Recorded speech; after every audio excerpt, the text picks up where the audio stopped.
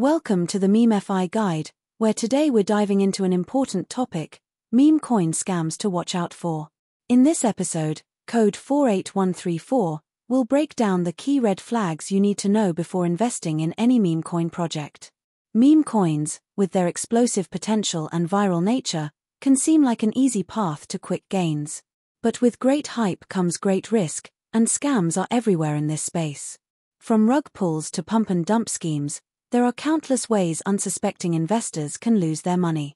We'll cover the warning signs of a scam, like anonymous developers, unrealistic promises, and lack of transparency in the project's roadmap or tokenomics.